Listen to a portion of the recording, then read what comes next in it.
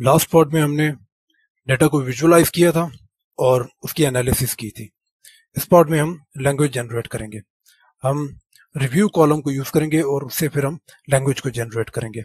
तो मैं सबसे पहले मार्कोवे फाइ को दोबारा इंपोर्ट कर लेता हूँ। तो मार्कोवे फाइ और स्ट्रिंग को भी।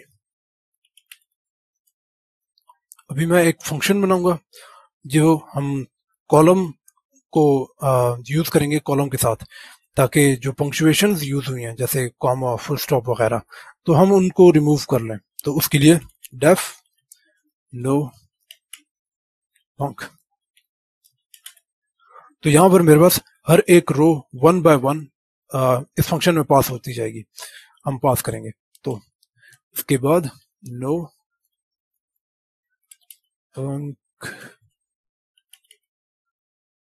स्प्रिंग मैं एक वेरिएबल बना रहा हूँ जिसमें मैं रिज़ल्ट जो पंक्चुएशन रिमूव करके रिज़ल्ट को सेव करूँगा।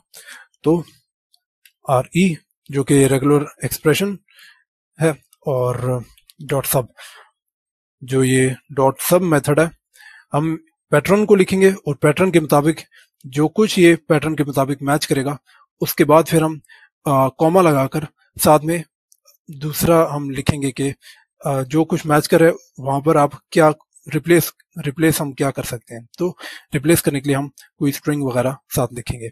तो मैं पैटर्न लिखता हूँ कि इसका मतलब नॉट है कि कोई भी आपको अल्फ़ाबेट मिले, आपने इग्नोर करना है और अल्फ़ाबेट या नंबर तो अल्फ़ाबेट चाहे स्मॉल हो या कैपिटल हो, आपने इग्नोर करना है और स्पेस को आपने इग्नोर करना है। इन अदर वर्ड्स यहाँ पर कोई स्पेस अल्फ़ाबेट चाहे स्मॉल हो या कैपिटल और नंबर को ये इग्नोर करेगा। उसके अलावा फुल स्टॉप कॉमा वगैरह को ये हाईलाइट कर लेगा। और यहाँ पर मैं रिप्लेस जिससे मैं करना चाहता हूँ तो वो लिखूँगा। फॉर एग्ज़ाम्पल अगर मैं यहाँ स्पेस देता तो यहाँ पर जो मैं पैटर्न लिख रहा हूँ, उसके मुताबिक जो कुछ ये फ्रेज या वर्ड को मैच करेगा, उसकी जगह वो डॉट सब मेथड जो है स्पेस पुट कर देगा।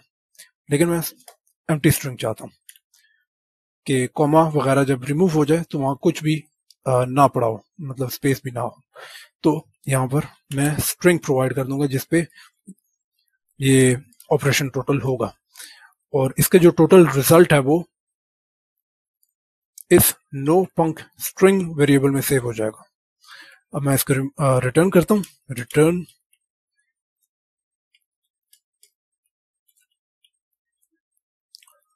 अब हम इस पैटर्न को एक बार समझ लेते हैं। तो मैं इसको कॉपी करता हूँ और मैं यहाँ पर पेस्ट करता हूँ।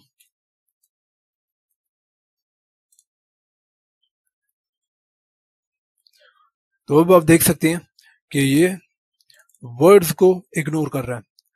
कॉमाज और फुल स्टॉप को ये हाईलाइट कर रहा है।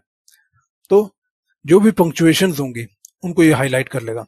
फॉर एग्ज़ाम्पल यहाँ पर मैंने ये नंबर भी लिखा हुआ है, लेकिन नंबर को भी ये इग्नोर कर रहा है। तो ये पैटर्न जो है ये पंक्चुएशन को हाईलाइट करेगा मैच करेगा, और हमने जो रिप्लेसमेंट के लिए साथ स्ट्रिंग प्रोवाइड की है वो उससे रिप्लेस कर देगा।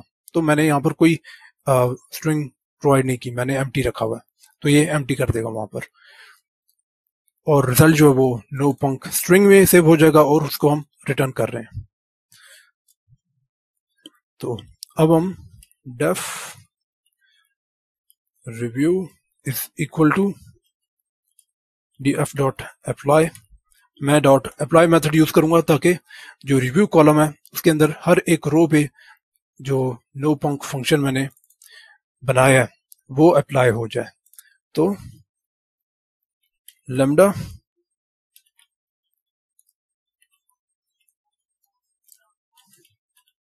नो पंक और row. Review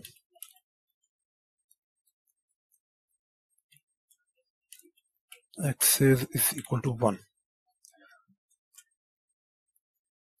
तो अब हम देखते हैं रिव्यू को.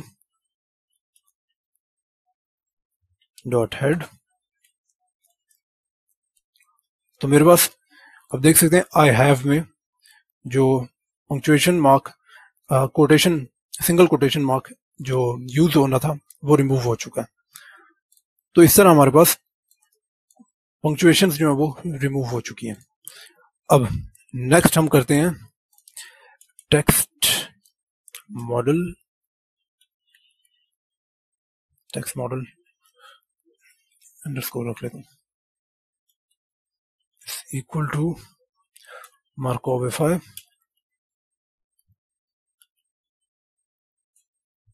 dot new new line. Text df dot review. State size is equal to 2 so इसको समझने के लिए हम एक वेबसाइट देख लेते हैं। Data science plus dot com या फिर मार्कोविफाई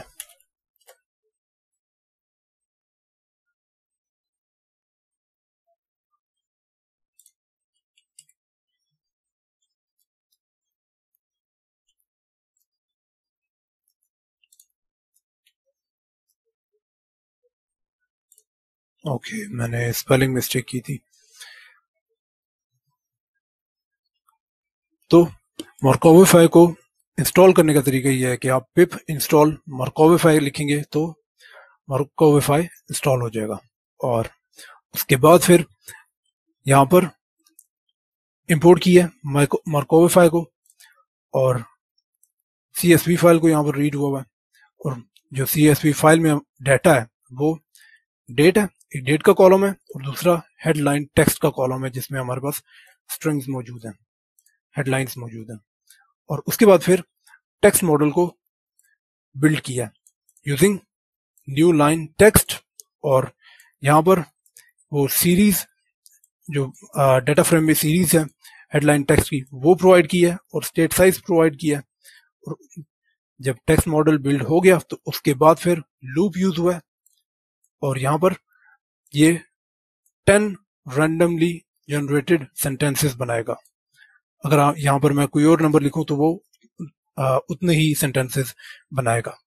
तो मेरे पास मीन्स की वेबसाइट पे टेन रैंडमली सेंटेंसेस जो हैं वो बन, आ, हमें डिस्प्ले हो रहे हैं। तो इसी तरह हम टेन की जगह कोई और वैल्यू रखेंगे और उतने ही सेंटेंसेस बनाएँगे। सबसे पहले हम एक वैल्यू रखेंगे वन वैल्यू वन और चेक करेंगे कि हमारे पास एक सेंटेंस जो है वो कैसे डिस्प्ले हो रहा है? उसको हम बार बार रन करेंगे ताकि हम चेक कर सकेंगे रेंडमली हमारे पास क्या सेंटेंस जनरेट हो रहा है। तो ओवरऑल जो है इसकी वर्किंग ये थी। आप ये चेक कर सकते हैं data science plus dot com पर। तो अब हम चेक करते हैं। टेक्स्ट मॉडल जनरेट करते हैं। टेक्स्ट मॉडल जनरेट हो गया। अब मैं फॉर आई इन रेंज मैं यहाँ पर अगर सबसे पहले वन लिखता हूँ, ताकि मेरे पास सिर्फ़ एक सेंटेंस जनरेट हो। और टेक्स्ट मॉडल डॉट मेक जो सेंटेंस हमने जनरेट करना होगा तो उसके लिए हम मेक सेंटेंस यूज़ करेंगे। मेक सेंटेंस मेथड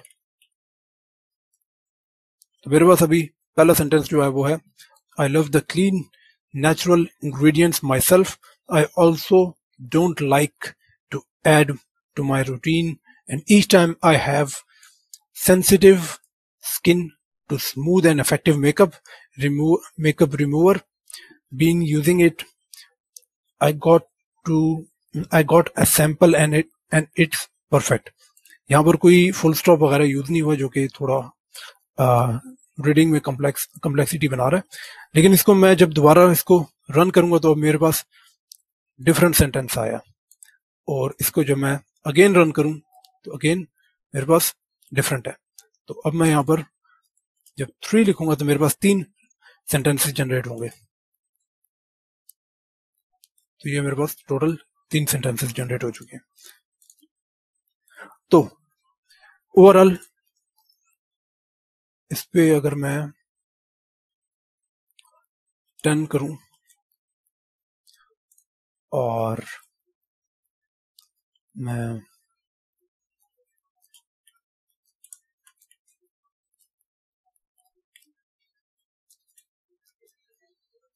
तो अब बेहतर है। तो मेरे पास टेन सेंटेंसेस जनरेट हो चुके हैं।